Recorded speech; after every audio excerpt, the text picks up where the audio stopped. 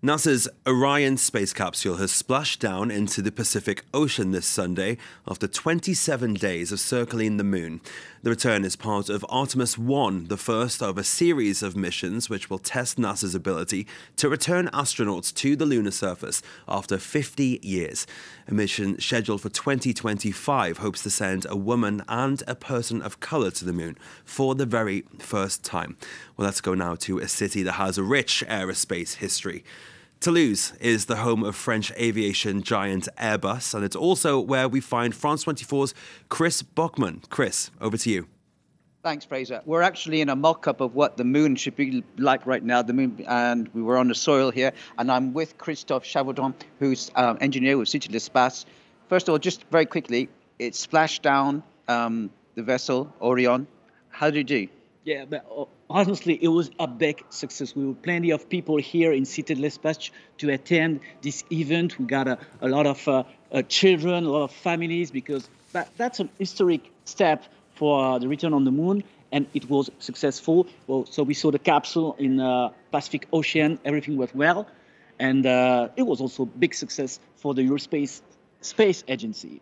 So what's important is that this is the first. It was a, it's like almost like a dummy run. So the next one that'll take off in two years from now, yep. roughly, will have astronauts, yep. and then a third one will take off and they'll actually land on the moon. What if this was a success? Why don't we just skip the middle stage and go straight to the moon on the next one? Oh, we have to check because, of course, the guys from NASA and, and ESA as well will check a lot of things, and especially, you know, they tested also some uh, vests to protect the astronauts against the radiations because cosmic radiations are really a problem for the astronaut for the long travel uh, to the moon. So that's a couple of things to, to check, and then afterwards, so 24, maybe 25, it will be exactly the same, but with four astronauts in the capsule, three American, one Canadian. Canada is also participating in, uh, in the Artemis mission. So 24, 25. And then for the Artemis 3, that means a, man, a woman on the moon 26, 27, we're not okay. yet. But Fraser, what I think our audience really is excited about, want to know about, is it's okay, we've done the moon, that was done 50 years yeah. ago, but this is really a launch pad. The idea is to go to Mars for real. We've been talking about it for decades. This is really a test. Get to the moon, use the moon and everything we've learned there to get to Mars. That's what you were talking about, aren't we? Yeah, yeah, of course. That's uh, that, that's the first step also, huh?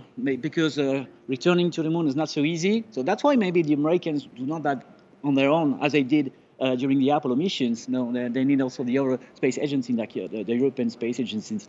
But it's the first steps, and then maybe one day we will be able to go to the Mars, but it's not already done.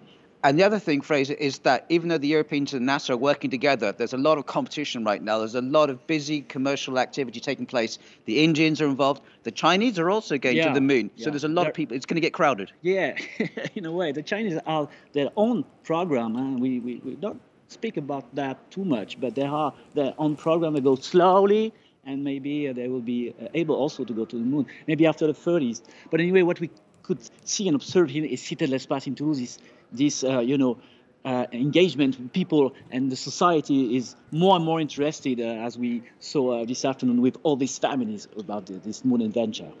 There you go, Fraser. So that's the latest. Well, of course, we'll be catching up in a couple of years' time as we see the astronauts going just around the moon, uh, circling it, and then, of course, a few years after that, landing in the moon again. So we'll touch base again, Fraser, for that occasion a whole new space race certainly underway then. Chris, thank you so much for that update there from Toulouse.